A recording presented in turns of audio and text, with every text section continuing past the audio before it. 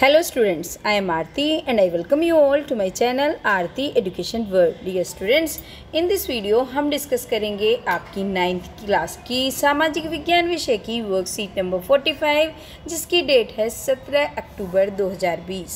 प्यारे बच्चों हम पिछली दो वर्कशीट्स में हमने नाजीवाद और हिटलर का उदय पढ़ा था अब ये इसका पार्ट थ्री है जो हमारी वर्कशीट आई है आपके इतिहास से ठीक है? चलिए पढ़ते हैं हिटलर का उदय। हिटलर का उदय के क्या कारण थे? हिटलर का उदय कैसे हुआ? देखते हैं। हिटलर का उदय हिटलर जर्मनी सेना में सिपाही था। आप समझिए हिटलर कौन था जिसने इतना राज के जर्मनी को का तानाशाह है? वो पहले जर्मन सेना में सिपाही था।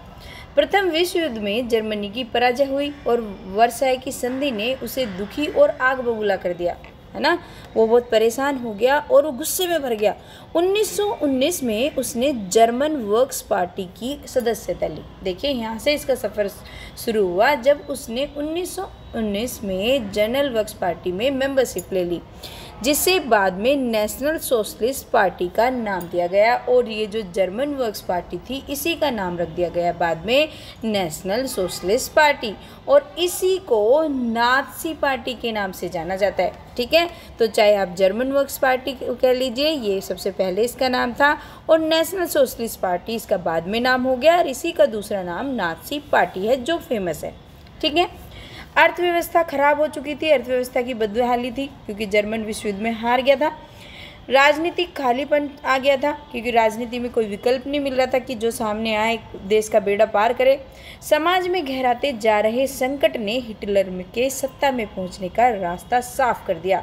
और जो समाज में इतना बड़ा संकट आ रहा था, आर्थिक संकट, अराजकता फैल रही थी तो अब हिटलर उसके सत्ता में, इसलिए उसके पहुँचने के रास्ते साफ़ हो गए, क्योंकि कुछ नहीं था। महामंदी के दौरान नाथसीवाद ने एक एक जन आंदोलन का रूप ग्रहण ग्रहण कर लिया। अब जब इतनी मंदी पड़ी हुई थी तो एक नाथसीवाद का जन आंदोलन के रूप में हो गया कि लोगों का आंदोलन है, ये इस तरीके से हो गया। उन्नीस के बाद बैंक दिवालिया हो चुके थे। उन्नीस के बाद बैंक बिल्कुल, क्योंकि उसके बाद उन्हें वर्ष राय की संधि जो हुई थी, उसमें उनको पैसा भी देना पड़ा था, एक तो हार गए कुछ नहीं बचा और दूसरा ऊपर से जो था वो भी उन्हें देना पड़ा। काम धंधे बंद होते जा रहे थे। मजदूर बेरोजगार हो रहे थे। मध्यम वर्ग को लाचारी और भूखमरी का डर सता रहा था कि अब तो भूख से ही मर जाएँगे। अब जब कुछ भी नहीं था तो ऐसा हो रहा था। नाथसी प्रचार में लोगों को एक बेहतर भविष्य की उम्मीद दिखाई दी। जब वो अपना प्रचार कर रहा था, लोगों को लुभावने वादे दे रहा था तो लोगों को लगा कि वैसे तो कुछ है ही नहीं। तो उन्हें एक बेहद अच्छा भविष्य दिखाई दे रहा था कि बेहतर भविष्य अगर मिल सकता है तो इससे मिल सकता है। उन्नीस सौ उनतीस में नाथसी पार्टी को जर्मन संसद राइंगस्टोंग ने के लिए हुए चुनावों में महज 2.6 फ़ीसदी वोट मिले थे। जो उन्नीस सौ उनतीस में चुनाव हुए और ये जो नाथसी पार्टी थी, उसमें केवल 2.6 वोट ये समझ लिए दो दशमलव छः परसेंट वोट कितने होते? बहुत कम तो वो मिले थे। जबकि 1932 के आते आते अब देखिए कितना नंबर ऑफ़ परसेंटेज इंक्रीज हो गया, दो परसेंट से सैंतीस परसेंट। पैंतीस परसेंट का इजाफा हुआ और सबसे बड़ी पार्टी बन गई ये नाथसी पार्टी। हिटलर की पार्टी अब सबसे बड़ी पार्टी हो गई थी 1932 तक। उन्नीस सौ उनतीस में जहाँ उसका बिल्कुल केवल 2.6 परसेंट था 1932 में हो गया 37 परसेंट। अब देखो नाजी प्रचार की भी एक कला थी। नाजी हिटलर ज़बरदस्त वक्ता था। बहुत अच्छा स्पीकर था बहुत अच्छी स्पीचेस देता था अपने जोशीलो भाषणों और शक्तिशाली राष्ट्र की स्थापना वर्षाई की संधि में हुई नाइंसाफ़ी के प्रतिशोध और जर्मन समाज के खोए हुए प्रतिष्ठा वापस दिलाने बेरोजगार को रोज़गार और नौजवानों को एक सुरक्षित भविष्य का आश्वासन देता था। अब वो इतना अच्छा वक्ता था इतनी अच्छी आ, आ, आसानी से ये सब चीज़ें कह देता था कि मैं शक्तिशाली राष्ट्र बना दूँगा और प्रतिशोध लेंगे जो हमारी समाज में इज़्ज़त खोई है, उसको वापस दिलाऊँगा, बेरोजगारों को रोज़गार मिलेगा, जैसे कि नेता लोग करते हैं। अगर नेता एक अच्छा वक्त, वक्ता होता है तो फिर लोग उसको पसंद भी करते हैं। अब आप नरेंद्र मोदी को देख लो, अच्छे वक्ता हैं इस बलबूते पे तो एक बहुत बड़ा रोल होता है अच्छा वक्ता होना भी। राजनीति में आने के लिए, है ना?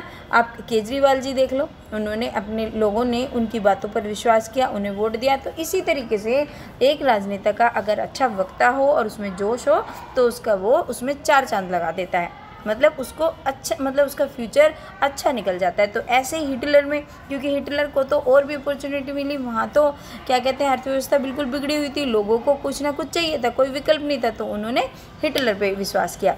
हिटलर ने राजनीति को एक नई शैली रची थी। वह लोगों को इकट्ठा करने के लिए आबंडर आडंबर और प्रदर्शन की अहमियत समझता था। उसे पता था कि लोगों में अगर मैं अपना शक्ति प्रदर्शन करूँगा, आडंबर करूँगा थोड़ा सा दिखावा करूँगा तो लोग इससे कितने जुड़ेंगे?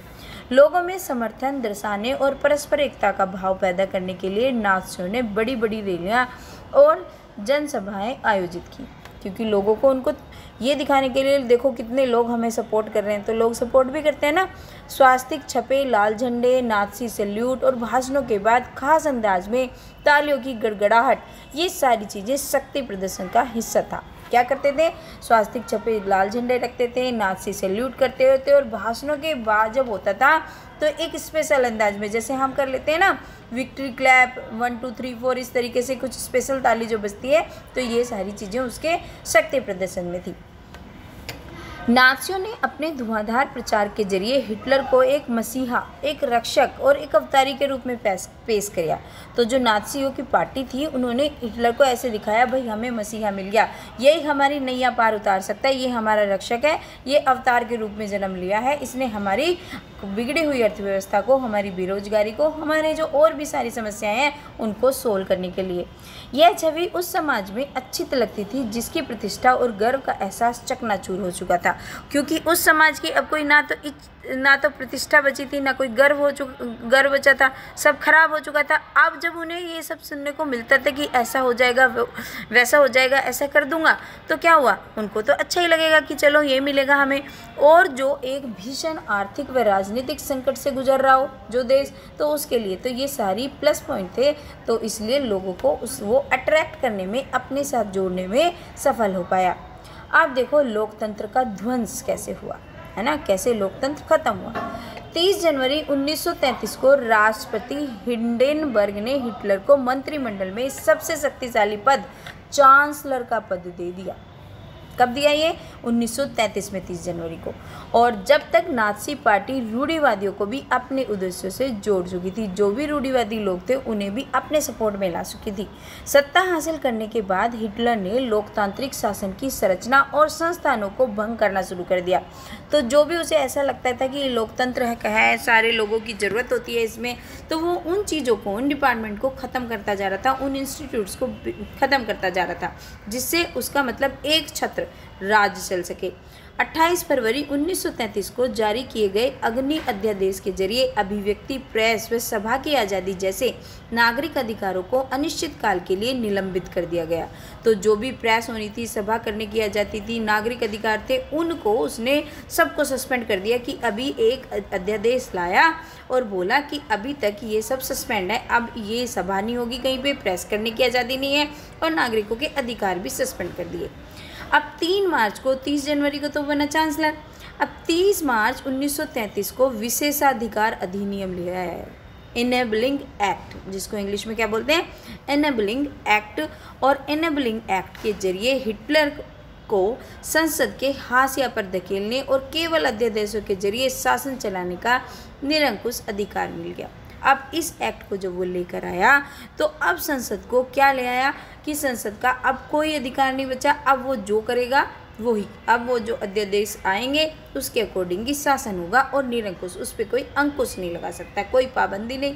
वो जैसे करना चाहेगा, इस तरीके से वो बन गया तानाशाह। नाथसी पार्टी और उससे जुड़े संगठनों के अलावा सभी राजनीतिक पार्टियों को ट्रेड यूनियनों यूनियनों पर पाबंदी लगा दी गई और नाथसी पार्टी और उसके जो जुड़े हुए संगठन थे, केवल वो केवल वो संगठन चल चल रहे थे और जो भी राजनीतिक पार्टी थी या कोई भी ट्रेड यूनियन थी, सबको, सब पे बैन लगा दिया। समझिए?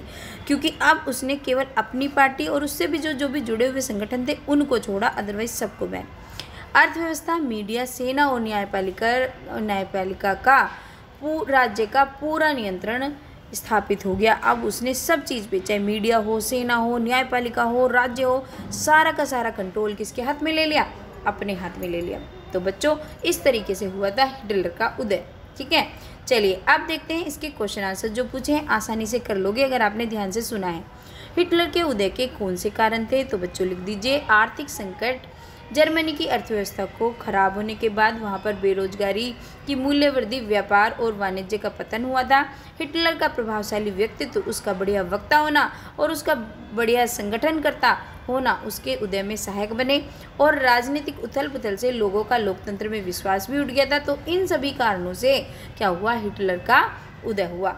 तो पहले प्रश्न का उत्तर आप इस तरीके से लिखोगे। बच्चों, आज जो प्रश्न है ना, थोड़े से बड़े हो सकते हैं, लेकिन आपको इन क्वेश्चन के आंसर्स इतने लिखने ही पड़ेंगे अगर अपना इफ़ेक्टिव क्योंकि अगर ये आएगा आपका तो आपका दो, तीन, चार नंबर में आ सकता है तो इतना तो आपको लिखना ही पड़ेगा उसके लिए। क्योंकि मैंने पॉइंट ही दिए हैं। अब देखिए, जर्मन लोगों ने हिटलर से कौन कौन से वादे किए? क्या वादे किए? शक्तिशाली राष्ट्र बना दूँगा। वर्षाई की संधि में हुई ना नाइंसाफ़ी का प्रतिशोध लेंगे। जर्मन समाज में खोई हुई प्रतिष्ठा वापस दिलाएँगे। बेरोजगारों को रोज़गार मिलेगा और नौजवानों को एक सुरक्षित भविष्य का आश्वासन दिया। ये सारे वादे किए जर्मन लोगों से हिटलर ने और बन गया, सत्ता पे काबिज हो गया। चलिए, अब देखते हैं तीसरा क्वेश्चन क्या है। पूरे देश में नियंत्रण स्थापित करने के लिए हिटलर ने कौन कौन से उपाय किए? तो हिटलर ने क्या क्या? किया जनसंचार के माध्यमों का उपयोग करा। शासन के लिए समर्थन हासिल करने और नाथसी विश्व दृष्टिकोण को फैलाने के लिए मीडिया का बहुत सोच समझ कर प्रयोग किया। तो आप इतना भी लिख सकते हैं। इसको पूरा लिख देंगे तो बहुत अच्छा हो जाएगा। युंग फोंग संगठन भी बनाया था बच्चों, इस वर्कशीट में नहीं है, लेकिन मैं आपको बता दूँ, ये एडिशनल पॉइंट है, आप लिख सकते हैं। युंग फोंग संगठन बनाया था जो चौदह साल से कम आयु के बच्चों का था। दस साल के उम्र के बच्चों को इस संगठन में सदस्य सदस्यता लेनी पड़ती थी तो इससे भी उन, उसने ये भी उपाय किया था। लोकतंत्र की नींव समाज के हिसाब से नियंत्रित करने के लिए विशेष सुरक्षा दस्ते गठित करे। जो राजनीतिक दल थे उन पर प्रतिबंध लगा दिया और जनता को मनोवैज्ञानिक रूप से नियंत्रण करने के लिए क्या करी? बड़ी बड़ी सभाएँ करी बड़ी बड़ी रैलियाँ करी। तो आप इस तरीके से इसका आंसर लिखेंगे। अच्छा बच्चों, ये है आपकी गतिविधि। क्या मीडिया पर प्रचारित बातों और विचारों से आप प्रभावित होते हैं? कोई एक उदाहरण दो। तो बच्चों, आप मीडिया से, क्योंकि मीडिया, इसने भी क्या मीडिया का बहुत अच्छा यूज़ किया था? तो क्या आपके हिटलर जी ने? तो इसी तरीके से आप मीडिया से प्रभावित होते हैं। हम कभी कभी ना कभी सभी प्रभावित होते हैं। तो आप इसका आंसर इस तरीके से लिख सकते हैं। मैंने दो आंसर लिखे या तो आप इसे लिखिए या इसे लिखिए, ठीक है? यहाँ तक की लाइन लिखने के बाद इसको लिख सकते हैं या फिर इसको लिख सकते हैं। जैसे लड़कियाँ ज़्यादातर इसे पसंद करेंगी और लड़के इसे। इसलिए मैंने दो आंसर लिखे हैं। हाँ मीडिया पर अपने रोल मॉडल का किसी खास उत्पादन को प्रचारित करने पर हम उसकी तरफ़ आकर्षित होते हैं। जैसे अगर कोई अभिनेत्री बहुत सुंदर है और वह ये बताए, इस क्रीम का प्रयोग करके इतनी सुंदर हूँ तो लड़कियों को लगता है कि वे इस क्रीम से सुंदर हो जाएँगी और ख़रीद लेती हैं। जाएँगी कर लेना बच्चों, ये जो जाएँगे जाएँगे लिखा ना, ये प्रिंटिंग मिस्टेक है। खैर, इतनी तो आप कर सकते हो, मैं अब जानती हूँ, जो भी मेरे से जुड़े हुए बच्चे, होशियार बच्चे हैं, खरीद लेती हूँ, ठीक है? देखो, दूसरा देखो कोई प्रसिद्ध खिलाड़ी या अभिनेता किसी उत्पादन का प्रचार करते हुए कहे कि इसकी वजह से मैं जवान और तंदुरुस्त बना रहता हूँ तो युवाओं को लगता है इस उत्पादन का प्रयोग करना चाहिए। ठीक है?